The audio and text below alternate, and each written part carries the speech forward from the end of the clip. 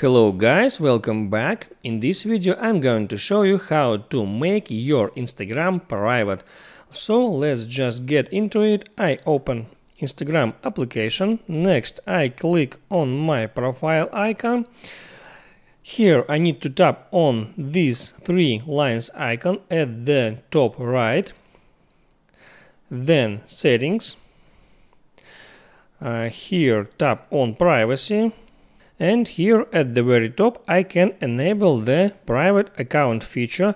I can just tap on this button to switch my account to private. If your account is private, only followers will be able to see your photos and videos. That's exactly what I want. I just tap on switch to private button and that's it. Now my account is private and now I can make changes to who can see my posts and my stories. And now I can review my followers. I can tap here to select who can see my posts and stories.